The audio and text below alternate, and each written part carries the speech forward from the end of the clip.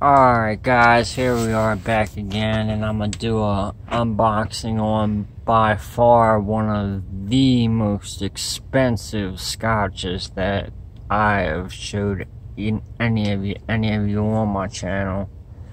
This is the Deanston Highlands single malt scotch whiskey 40 year old with an average price of $3,321. Uh, you got it by case number up there, but I believe that 480 of these were made. And, uh, oh, without further ado, let's show you this beautiful case here.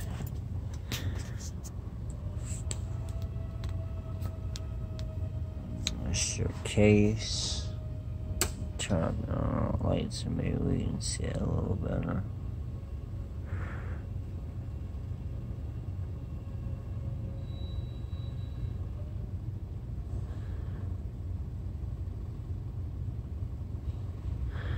What that says is meticulously crafted on the banks of the river of something. I can't really see that, but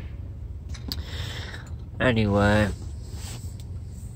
this is your box, very thick as you would expect for a bottle of this price. 45.7% alcohol. But let's get what we're all looking at.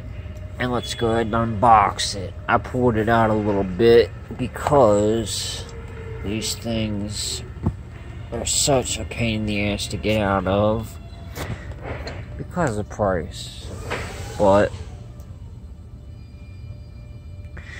there it is meticulously craft on the banks of river Teith.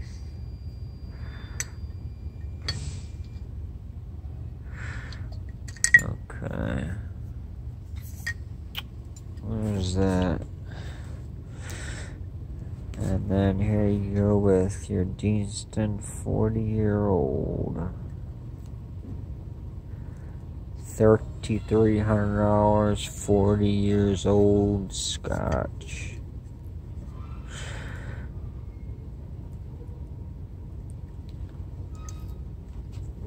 Beautiful bottle. Alright, you know the deal. Like, subscribe, comment, all that good stuff. Thanks for watching, y'all.